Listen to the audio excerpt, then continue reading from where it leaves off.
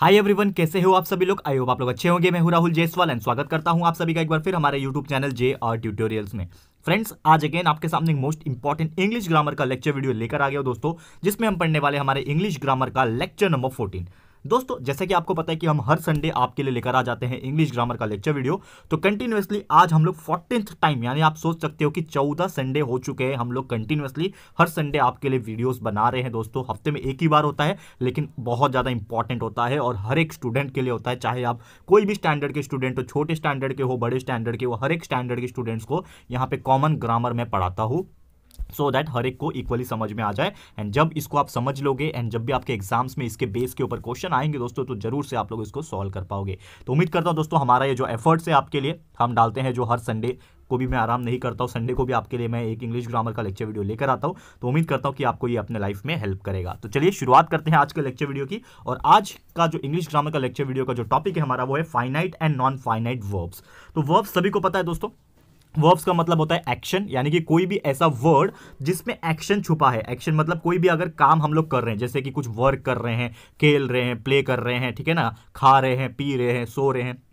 कहीं ना कहीं इस चीज़ में क्या है एक्शन हो रहा है। तो जहाँ पे एक्शन आ रहा है, वो चीज़ को हम लोग वर्ब बोलेंगे और वर्ब भी यहाँ पे क्या है, दो टाइप के पढ़ने हैं। एक होता है फाइनाइट दूसरा होता है नॉन फाइनाइट वर्ब्स तो फाइनाइट वर्ब्स की बात करें finite verbs change their form when there is change in the number of person of the subject यानी कि जो फाइनाइट वर्ब ऐसे वर्ब्स होते हैं कि वो अपना जो फॉर्म होता है, वो चेंज कर लेते हैं कि अगर सामने कितना नंबर ऑफ़ पर्सन या फिर कितना नंबर ऑफ़ सब्जेक्ट खड़ा है तो जैसे कि अगर सिंगुलर है तो यहाँ पे वर्ब्स कुछ और रहेंगे, या फिर नंबर ऑफ़ मल्टीपल पर्सन आगे मल्टीपल ऑब्जेक्ट्स आ जाएँगे तो वहाँ पे चेंज हो जाएँगे। हम एग्ज़ाम्पल स्टडी करेंगे तो आपको ज़्यादा बेटर वे में समझेगा। अभी तो मैं आपको बस डेफिनेशन बता रहा हूँ, आगे एग्जाम्पल्स भी है तो आप बने रहिए बस, आपको हर एक चीज़ क्लियर हो जाएगा। और दूसरा है non finite words non finite नाम से पता चल जाएगा that do not change their form यानी कि वो अपना फॉर्म चेंज नहीं करते हैं, चाहे सामने कितने भी नंबर ऑफ़ पर्सन होने दो, उससे फ़र्क नहीं पड़ता, वो अपना फॉर्म को चेंज नहीं करेंगे। और बेसिकली बात करें तो there are mainly three types of non finite verb जो नॉन फाइनेट वर्ब्स जो होते हैं, वो तीन टाइप के होते हैं इनफाइनेटिव्स जीरेंट्स एंड पार्टिसिपल्स ये होते हैं, ठीक है? और इसके अलावा भी डेफिनेशन है यहाँ पे। जैसे कि अगर बात करें there are fam there are mainly two types of verb in English ठीक है ना? जैसे हमने बात किया कि वर्व्स जो होते हैं, वो दो प्रकार के हो सकते हैं पूरे इंग्लिश के अंदर, एक होता है फाइनाइट वर्व दूसरा होता है non finite finite verbs change their forms when there is a change in the number of person of the subject and finite verb also have different forms in the different tense मतलब अलग अलग forms रहेंगे अलग अलग tenses के हिसाब से जब भी नंबर ऑफ़ पर्सन या फिर नंबर ऑफ़ ऑब्जेक्ट जब चेंज होगा तो फाइनाइट वर्ब जो होंगे वो अपना फॉर्म को चेंज कर देंगे। साथ ही में अपने टेंसेस को भी चेंज कर सकते हैं। और वही नॉन फाइनाइट वर्ब्स क्या था? कि वो अपना फॉर्म कभी भी चेंज नहीं करेगा, चाहे नंबर ऑफ़ पर्सन बदले या फिर नहीं बदले। और मेनली यहाँ पे तीन टाइप है इन्फिनेटिव जीरन एंड पार्टिसिपल्स तो ये आपको क्लियर हो गया होगा। एग्ज़ाम्पल स्टडी करते तो आपको ज़्यादा बेटर वे में समझेगा। जैसे कि पहला एग्ज़ाम्पल है my little brother wants to be a doctor यानी कि मेरा जो छोटा भाई है, वो क्या बनना चाहता है? डॉक्टर बनना चाहता है। लेकिन यहाँ पे जो वॉन्ट्स ये जो वर्ड है, ये वॉन्ट्स का मतलब हो जाएगा फाइनाइट यहाँ पे क्या हो रहा है कि फाइनाइट में हम लोग जो है वो क्या हो रहा है, हमारा एक तरीके से हमारा चेंज हो रहा है, ठीक है ना? जो वर्ब्स है वो चेंज हो रहा है एंड यहाँ पे टू बी आपने देखा यहाँ पे टू बी लिखा है तो टू बी मेरा क्या है? नॉन फाइनाइट है मतलब कि कहीं पे भी यहाँ पे जो टू बी वर्ड है, ये चेंज नहीं होने वाला। जैसे कि एग्ज़ाम्पल अगर मैं बात करूँ यहाँ पे, यही एग्ज़ाम्पल को कंटिन्यूस करते हैं, क्योंकि डेफिनेशन हमने जो पढ़ा दोस्तों, यहाँ पे क्या पढ़ा कि जो हमारा फाइनाइट था फाइनाइट वर्ब्स क्या हो रहा था? चेंज हो रहा था, जब भी नंबर ऑफ़ पर्सन चेंज हो रहेंगे ठीक है? तो यहाँ पे वही चीज़ यहाँ पे अप्लाई अगर करते हैं तो my little brother wants to be a doctor ठीक है ना? My little brother wants to be doctor तो वॉन्ट्स क्या है मेरा? फाइनाइट है. क्यों फाइनाइट है? क्योंकि जब नंबर ऑफ़ पर्सन को मैं चेंज करूँगा तो ये चेंज हो जाएगा. ठीक है ना? या फिर टेंस चेंज करूँगा तो वो टेंस के हिसाब से चेंज हो जाएगा. यानी कि अगर मुझे पास्ट टेंस में बोलना रहेगा तो मैं वांटेड बोलूँगा. तो यानी कि वो चेंज हो रहा है. तो ये क्या रहेगा? फाइनाइट रहेगा. लेकिन टू बी ये जो रहेगा मतलब मुझे बनना है टू बी ये तो आपका सेम ही रहने वाला चेंज नहीं होगा. इसके लिए इसको नॉन फाइनाइट बोलते हैं. ठीक है? फिर सेकंड एग्ज़ाम्पल में आइडेंटिफाई करके दिखाओ कौन सा फाइनाइट है, कौन सा नॉन फाइनाइट है. तो she worked hard to pass the driving driving test. तो यहाँ पे वर्कड जो रहेगा वो चेंज हो सकता है, यानी कि ये फाइनाइट है और टू पास ये टू पास आपको दिख रहा है तो टू पास तो सेम ही रहेगा, यानी पास हो रहा है तो ये नॉन फाइनाइट है, ये चेंज नहीं हो सकता। ओके दोस्तों तो क्लियर है तो उम्मीद करता हूँ कि ये आपको समझ में आ रहेगा और भी ऐसे एग्जाम्पल्स हैं, जैसे कि I couldn't solve the problem तो कुडेंट सॉल्व क्या हो जाएगा? फाइनाइट हो जाएगा बिकॉज़ ये चीज़ आगे जाके चेंज हो सकता है। ठीक है? टू एर इज़ ह्यूमन यानी टू एर का मतलब हो गया नॉन फाइनाइट ठीक है? और इज़ जो हो गया वो फाइनाइट हो गया। तो इस प्रकार आप आइडेंटिफाई कर पाओगे। फिर एक और एग्ज़ाम्पल है your duty your duty is so is to cross the bridge without getting notice यानी कि आपका कार्य ये है कि आप जो है ब्रिज को क्रॉस कर लो और आप नोटिस भी ना हो जाओ। ठीक है? तो इसमें इज़ जो रहेगा इज़ तो फाइनाइट में ही आता है करेक्ट है? एंड टू क्रॉस जो हो गया, ये नॉन फाइनाइट आ जाएगा और गेटिंग जो है, ये भी नॉन फाइनाइट आ जाएगा। तो उम्मीद करता हूँ कि ये चीज़ आपको समझ में आ गया होगा। और वही अगर बात करें कि जो नॉन फाइनाइट थे, वो तीन प्रकार के थे तो वो तीन प्रकार क्या है? इन्फिनेटिव जेरेंट्स और पार्टिसिपल ये क्या होता है? ये भी डिस्कस कर लेते हैं। तो इन्फिनेटिव की अगर हम बात करेंगे तो इन्फिनिटी क्या होता है? And infinitive usually begins with the word to यानी कि जो इन्फिनेटिव जो वर्ड्स होते हैं ना, वो क्या होते हैं? स्टार्ट कहाँ से होते हैं? टू से स्टार्ट होते हैं, ठीक है? And is follow by a base form of a verb यानी कि टू के बाद क्या हो जाएगा? जनरली वर्ब आएगा। यानी कि अगर अगर हमें कोई भी एक स्टेटमेंट दिया रहेगा और क्वेश्चन में पूछा रहेगा कि इन्फिनेटिव हो तो हमेशा याद रखना इन्फिनेटिव जो होते हैं, वो टू वर्ड से स्टार्ट होते हैं और उसके जस्ट बाद जो होगा, वो क्या हो जाएगा, कोई भी वर्ब होगा। तो वर्ब में क्या हो सकता है? दैट इज़ ईटिंग स्लीपिंग ठीक है ना?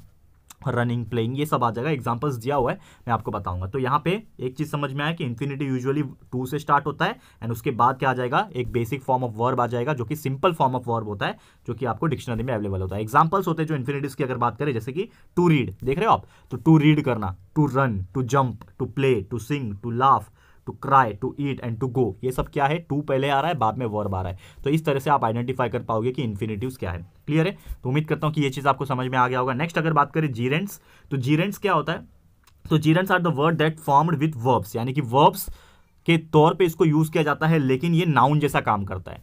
है तो वर्ब है तो वर्ब लेकिन ये नाउन जैसे एक्ट करता है नाउन जैसे काम करता है and they were very easy to spot कोई भी स्टेटमेंट में, कोई भी सेंटेंस में आपको अगर पहचान ने बोला है कि जेरन पहचान के दिखा और ये क्वेश्चन हमेशा पूछता भी अक्सर मैंने देखा है, लगभग नाइन टेंथ की अगर खास करके बात करूँ तो ये जीरन तो है मेनली पूछता है। तो इसको पहचानने का सबसे बेस्ट तरीका है, अगर कोई भी सेंटेंस में वर्ब के साथ आईएनजी लगा हुआ यानी कि वर्ब है, कोई भी वर्ब है, और साथ में क्या है आईएनजी लगा हुआ है प्लस करके तो समझ जाना कि वो जो चीज़ है वो जीरेंड है ठीक है? तो ये चीज़ याद रखना। और इसमें कोई भी एक्सपेक्टेशन होता नहीं कोई रूल नहीं है यहाँ पे। तो एग्ज़ाम्पल अगर बात करें जीरेंड का बहुत ही सिंपल है इसको आइडेंटिफाई करना। जैसे कि पहला है swimming in the well has been Rahul passion seize she was five years old ठीक है ना? तो यहाँ पे आ, एक यहाँ पे मिस्टेक हो गया। यहाँ पे शी गए जगह पे क्या आएगा? ही आएगा ठीक है ना? राहुल जो है वो एक आ, मेल है दैट्स वाई यहाँ पे यहाँ पे ही आएगा, ठीक है? इसको करेक्ट कर सकते हो आप लोग। तो swimming in the well has been the Rahul passion since he was five year old यानी कि जब वो पाँच साल का था, तब से राहुल का जो पैशन है, वो क्या है? स्विमिंग है।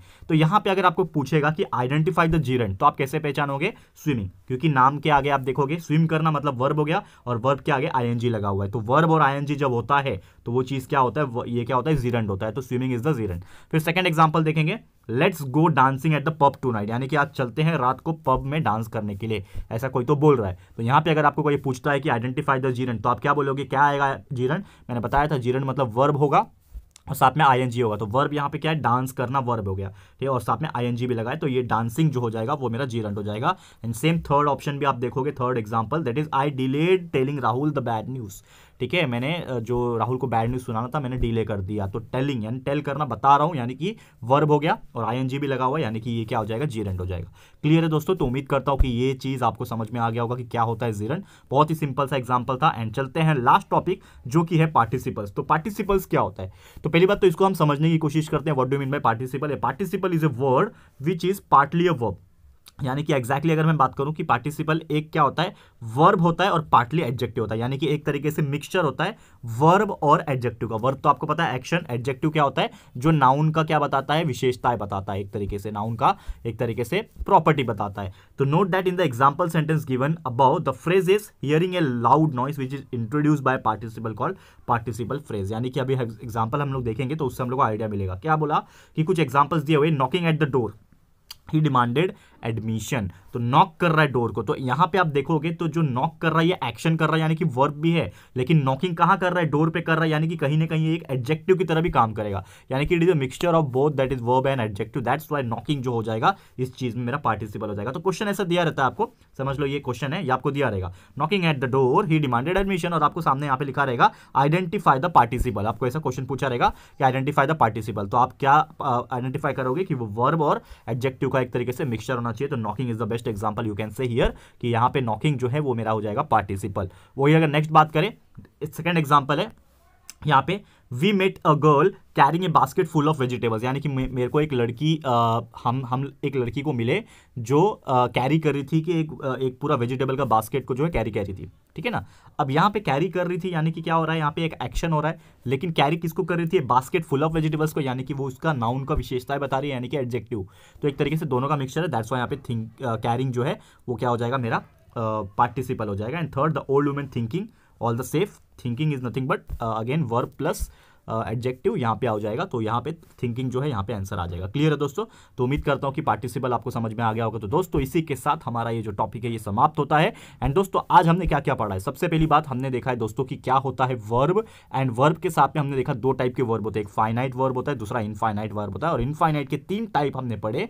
एक था हमारा जीरेंट दूसरा था पार्टिसिपल एंड तीसरा हमने देखा था दोस्तों, पहला क्या था दोस्तों? यहाँ पे जीरन था एंड उसके बाद हमने इन्फिनेटिव देखा था, ठीक है? तो इन्फिनेटिव जीरन एंड पार्टिसिपल ये तीन हमने देख लिया और इसी के साथ हमारा ये जो आज का टॉपिक है छोटा सा टॉपिक हम लेकर आए थे आपके लिए तो उम्मीद करता हूँ कि जितने भी एग्जाम्पल्स एंड टॉपिक हमने समझाने की आपको कोशिश की है, ये आपको समझ में आ गया होगा। तो thank you so much for watching this video and will study more grammar हम लोग आगे और ग्रामर पढ़ेंगे जब भी हम लोग नेक्स्ट लेक्चर आपके लिए लेकर आएँगे। तो thank you so much for watching this video और ये वीडियो आपको कैसा लगा है दोस्तों? प्लीज़ हमें कमेंट करके बताइएगा, अपनी राय और सजेशन ज़रूर से दीजिएगा। और अगर आपको ये वीडियो पसंद आया है यूजफुल लगा है फ्रेंड्स तो प्लीज़ वीडियो को लाइक कीजिएगा, शेयर कीजिएगा। अपने सारे फ्रेंड्स लोग को फटाफट से शेयर कर देना। एंड अगर आपने अभी तक इस चैनल को सब्सक्राइब नहीं किया है तो फटाफट से हमारे चैनल को सब्सक्राइब कर देना, साथ में बेलाइकन को हिट कर देना दोस्तों, ताकि जब भी हम लोग वीडियोस अपलोड करेंगे ना, आप लोग को नोटिफिकेशन मिलती रहेगी। ठीक है फ्रेंड्स तो मिलते हैं हमारे अगले वीडियो में। ये वीडियो देखने के लिए thank you and good bye.